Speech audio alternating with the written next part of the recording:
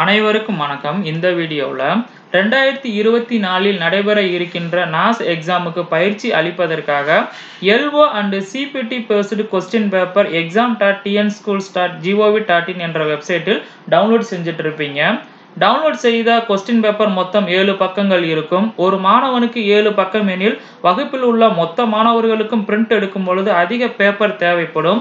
இந்த ஏழு பக்கங்களையும் ஒரே ஏ ஃபோர் பேப்பரில் ஃப்ரண்ட் அண்ட் பேக்கில் பிரிண்ட் எடுப்பது எப்படி அப்படின்ற பற்றி தான் இந்த வீடியோவில் பார்க்க போகிறோம் ஸோ அதுக்கு நீங்கள் கொஸ்டின் பேப்பர் பிரிண்ட் டவுன்லோட் பண்ணக்கூடிய பேஜ் வந்துக்கோங்க. ஸோ அங்கே தெரியக்கூடிய டவுன்லோடை கிளிக் பண்ணி நீங்கள் வந்து டவுன்லோட் பண்ணியிருப்பீங்க கொஸ்டின் பேப்பர் டவுன்லோட் பண்ண உடனே உங்களுக்கு கொஸ்டின் பேப்பர் வந்து இங்கே மேலே போய் நிற்கும் ஸோ அதை கிளிக் பண்ணிக்கோங்க.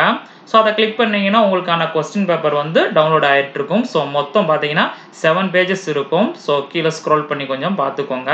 ஏழு பக்கங்கள் இருக்கும். ஸோ இந்த ஏழு பக்கங்களையுமே பார்த்தீங்கன்னா ஒரே ஏ ஃபோர் சீட்டில் ஃப்ரண்ட் அண்ட் பேக் எடுக்கணும். ஸோ அது எப்படி அப்படின்ற பற்றி பார்க்கலாம். அதுக்கு இங்கே தெரியக்கூடிய பிரிண்ட் ஆப்ஷனை கிளிக் பண்ணிக்கோங்க. கிளிக் பண்ணிட்டீங்கன்னா உங்களுக்கு ப்ரிவ்யூ வந்து பார்த்தீங்கன்னு சொன்னால் ஓப்பன் ஆகும். ஸோ பார்த்தீங்கன்னா ஏழு பக்கம் இருக்கும். ஸோ இதை நீங்கள் வந்து பிரிண்ட் அப்படியே கொடுத்தீங்க அப்படின்னு சொன்னால் உங்களுக்கு ஏழு பேப்பரில் வந்து பார்த்தீங்கன்னு சொன்னால் இந்த கொஸ்டின் பேப்பர் வந்து பிரிண்ட் ஆகிருக்கும் ஸோ மேலேயே கொடுத்துருப்பாங்க. செவன் சீட்ஸ் ஆஃப் பேப்பர் அப்படின்னு சொல்லி.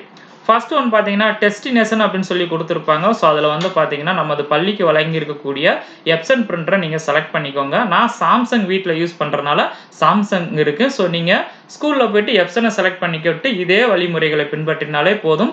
ஒரே ஏ ஃபோர் சீட்டில் ஃப்ரண்ட் அண்ட் பேக் ஏழு பக்கங்களையுமே பிரிண்ட் எடுத்துக்கலாம். ஸோ நெக்ஸ்ட் வந்து பேஜஸ் வந்து பார்த்தீங்கன்னா ஆல் அப்படின்றது அப்படியே இருக்கட்டும். காப்பீஸ் வந்து பார்த்தீங்கன்னா நம்ம வகுப்பில் இருக்கக்கூடிய மாணவர்களை பொறுத்து நீங்கள் வந்து அந்த இடத்துல காப்பீஸ் வந்து சேஞ்ச் பண்ணிக்கலாம். ஸோ அது நெக்ஸ்ட் லாஸ்ட்டாக சொல்கிறேன் நெக்ஸ்ட் இங்கே தெரியக்கூடிய மோர் செட்டிங்ஸ் அப்படின்னு இருக்கும் அதை கிளிக் பண்ணிக்கோங்க. அதை கிளிக் பண்ணிட்டு பேப்பர் சைஸை கிளிக் பண்ணிட்டு ஏ ஃபோர் செலக்ட் பண்ணிக்கோங்க.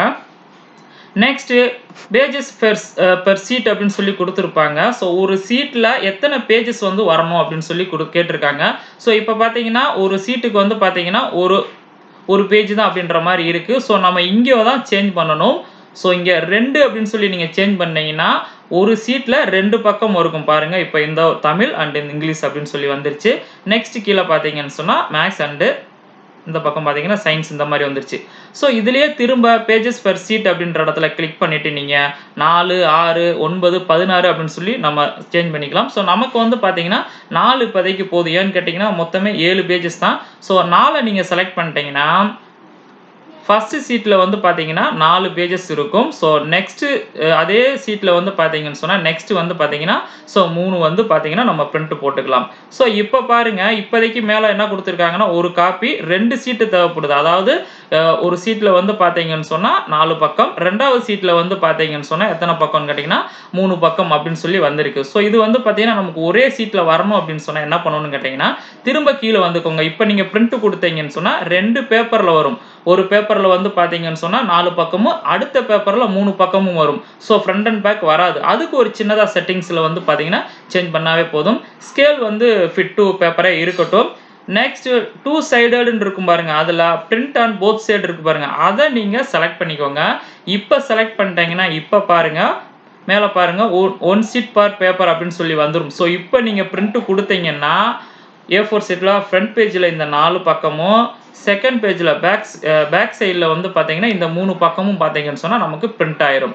ஸோ ஒரே ஒரு காப்பிக்கு ஒரு சீட் அப்படின்னு சொல்லி வந்துடும் ஸோ இந்த ஃபிட் பிரிண்ட் அண்ட் போத் சைட்லேயே வந்து பார்த்தீங்கன்னா ரெண்டு ஆப்ஷன்ஸ் கொடுத்துருப்பாங்க.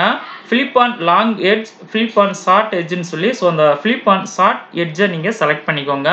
செலக்ட் பண்ணிவிட்டு நெக்ஸ்ட் வந்து பார்த்தீங்கன்னா நம்பர் ஆஃப் காப்பீஸ் வந்து பார்த்தீங்கன்னா நீங்கள் சேஞ்ச் பண்ணிக்கோங்க. ஃபார் எக்ஸாம்பிள் உங்கள் வகுப்பில் வந்து ஒரு இருபது மாணவர்கள் இருக்காங்கன்னா நீங்கள் இருபது அப்படின்னு சொல்லி செலக்ட் பண்ணிக்கோங்க.